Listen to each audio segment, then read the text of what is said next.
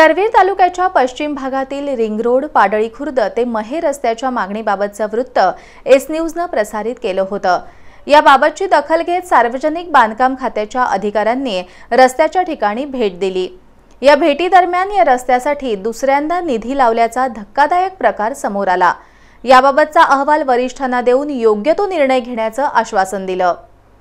पाडळी खुर्दमधील ring road Padali Khurd ते महे हा रस्ता होण्याच्या मागणीबाबतचं वृत्त एकोणतीस मे रोजी एस न्यूजमधून प्रसारित करण्यात आलं होतं. याबाबतची दखल घेत सार्वजनिक बांधकाम खात्यातील अधिकारी सी एन भोसले यांनी भेट देऊन रस्त्याची पाहणी केली. यावेळी बांधकाम खात्याचा अजब कारभार चव्हाट्यावर आला. पाडळी खुर्द ते कोगे येथील डांबरीकरण केलेल्या रस्त्याला पंच्याण्णव लाखांचं डबल बजेट लावल्याचा धक्कादायक प्रकार उघडकीस आलाय.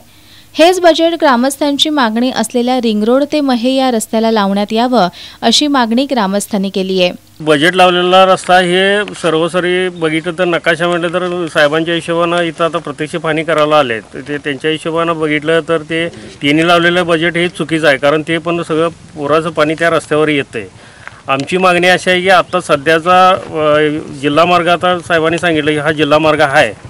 नाही असं नाही. तो जिल्हा मार्ग त्वरित व्हावा. त्यासाठी प्रयत्न करणं गरजेचं आहे. ज्या रस्त्यासाठी निधी मंजूर झाला आहे तो रस्ता जिल्हा परिषदेचा रस्ता आहे. आणि ग्रामस्थ मागणी करत असलेला रस्ताही जिल्हा परिषदेचा आहे. त्यामुळे नागरिकांच्या मागणीनुसार पाहणी केलेल्या रस्त्याचा अहवाल जिल्हाधिकाऱ्यांकडे देऊ असं आश्वासन यावेळी सार्वजनिक बांधकाम खात्याच्या अधिकाऱ्यांनी दिलं.